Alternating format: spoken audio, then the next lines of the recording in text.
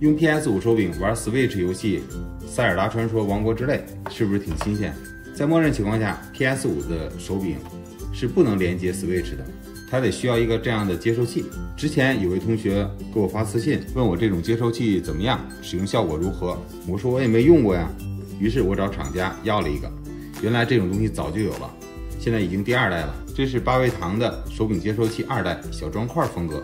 PS 四手柄、PS 三手柄还有别的手柄也可以啊，它这个接收器支持挺多的。它俩连接用的是蓝牙连接，配对方式也很简单，摁住手柄的这个键，再摁住中间的 PS 键，摁住了大概三秒钟，手柄会亮蓝灯，这时候它俩就会匹配，匹配成功之后，PS 五手柄就可以玩 Switch 游戏了。具体方法看说明书。整体感觉还不错，有陀螺仪，而且有震动。但是没有它那个 HD 震动啊。另外，PS 五手柄的一些特性在 Switch 上也体现不出来，那是 PS 五游戏专用的。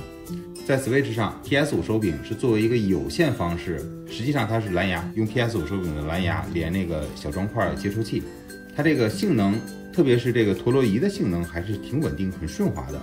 我问过厂家，厂家说是因为手柄与接收器之间的连接延时很低。下面说几个需要注意的地方。当我第一次收到这个接收器的时候，需要更新一下这个接收器的最新固件才可以正常使用。可能是 PS 五手柄的这个固件经常更新，说不定以后还会有这种情况发生，到时候再更新一下接收器的固件就可以了。在苹果和 Windows 电脑上都可以更新固件。这个接收器只支持一个手柄，Switch 上有两个手柄，那这个接收器呢又能连一个手柄，这样就三个手柄，这一个接收器只能。连接一个手柄，它们是一条通道。那这个 PS 五手柄怎么在玩 PS 五游戏呢？呃，也很简单，我们只需要用手柄的数据线把手柄连到 PS 五就可以了。但是下次你再玩这个 Switch 游戏的时候，还得重新配对一次。如果你只有一只手柄，要让它玩 Switch 又玩 PS 五，来回的匹配有点麻烦。那最后总结一下，这个八位堂的手柄接收器二代。它的主要作用就是可以连你的 PS 五手柄或者其他的手柄在 PC 上用或者在 Switch 上用。如果你有这种需求或者比较特别的需求，可以提前问一下客服。它的特点呢就是延时比较低，功能还比较的丰富。这个东西价格也不算便宜。Switch 上也有 Pro 手柄这种外置的手柄，价格在四百出头。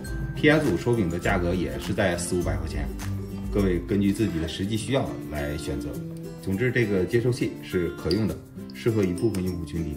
以上就是本次视频全部内容，就是给大家尝尝鲜，原来 PS 五手柄也可以玩 Switch 游戏，仅此而已。